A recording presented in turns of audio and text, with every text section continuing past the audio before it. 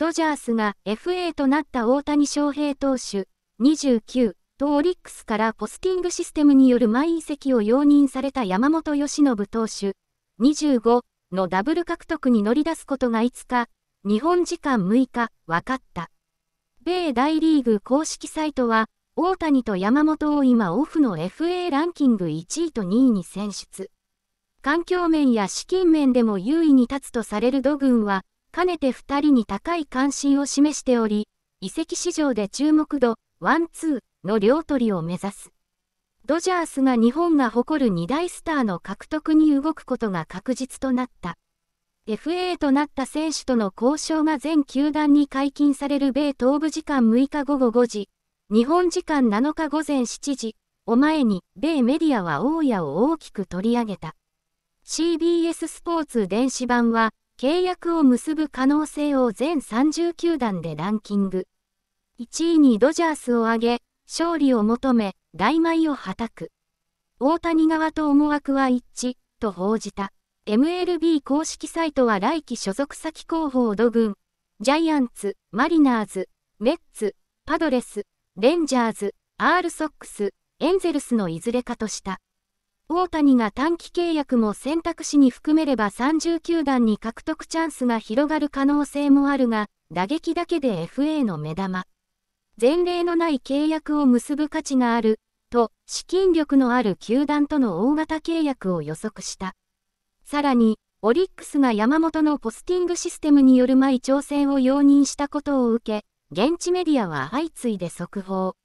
MLB 公式サイトは8球団、米移籍情報サイト、トレードルーマーズは11球団が獲得を目指すとした。2人のダブル獲得を狙うのが、今季100勝しながらも地区シリーズで2年連続敗退したドジャースだ。大谷は右肘手術の影響で来季は DH に専念するが、高校時代から密着してきた土軍は、環境面や資金力を武器に最大10年総額5億ドル、約750億円と言われる争奪戦に加わることは決定的となっている。加えて、山本の獲得にも本腰を入れる。地区優勝を発したものの、土軍先発陣の防御率は4、57でリーグ9位。再契約が濃厚な左腕カーショーは左肩手術を受け、復帰は来夏以降。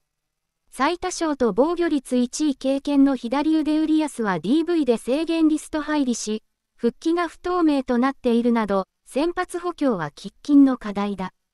これまでも熱心に山本の視察を繰り返しており、大谷同様、争奪戦の主役となる。FOX スポーツ電子版は公式サイトと同じく、FA ランクで山本を大谷に次ぐ2位とし、先発投手に望む要素をすべて持ち合わせている、と高評価。スポーツ専門サイト、アスレチックは、14年田中将大、楽天、ヤンキースの7年1億5500万ドル、当時のレートで163億円を超え日本選手の渡米時最高となる7年総額2億1100万ドル、約315億円の契約を予測した。2人同時獲得となれば、最大で1000億円を超える規模。土軍が本気モードでトップに獲得に動く。0最大11球団の参戦が見込まれる山本の争奪戦では、土軍のほか、ヤンキース、アールソックス、メッツなどの本気度が高い。ヤ軍は9月9日のロッテ戦でのノーヒッターをキャッシュマン GM が生観戦。先発不足の R ソックスは吉田が在籍中という強みもある。資金力では千賀を獲得したメッツ。世界一となったレンジャーズのほか、フィリーズ、ジャイアンツ、カブスなども強い興味を示している。